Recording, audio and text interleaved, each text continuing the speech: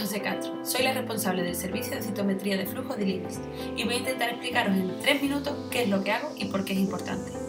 En un centro de investigación biomédica hay distintos campos de especialización, la mayoría de ellos relacionados con alguna enfermedad concreta.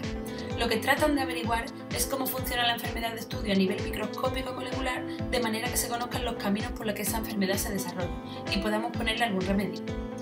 Los investigadores, para llevar a cabo su trabajo, necesitan hacer muchísimos experimentos. Algunos de ellos son más fáciles y otros son más complejos. Cuando un experimento es muy complejo, existen personas que se dedican exclusivamente a hacer esos experimentos, por lo que saben mucho del tema. De ahí nacen los servicios de apoyo a la investigación, que no se dedican a estudiar ninguna enfermedad concreta. Su trabajo es ayudar a los investigadores en sus experimentos. Estos servicios, según el tipo de experimento en el que se especialicen, se llaman de una forma u otra. Por ejemplo, hay servicios de genómica que hacen sus experimentos con genes, de proteómica que los hacen con proteínas, de animalario con animales, de microscopía con microscopio.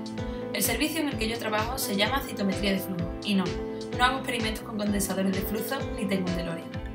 Citometría de flujo significa medir células en una corriente de fluido, pero eso es demasiado genérico.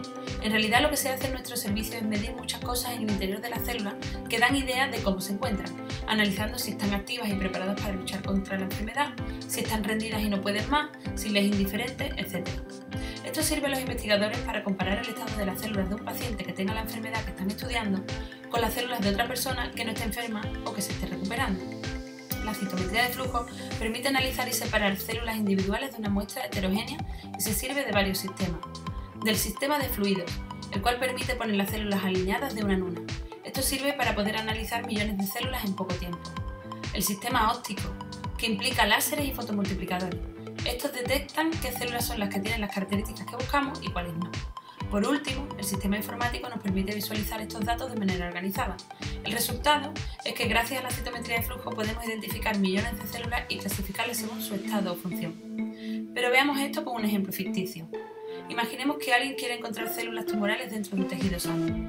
Esto le servirá para, una vez identificadas y aisladas, estudiar en profundidad su material genético, o por ejemplo, ver cómo se comportan en función de si le aplican un fármaco u otro.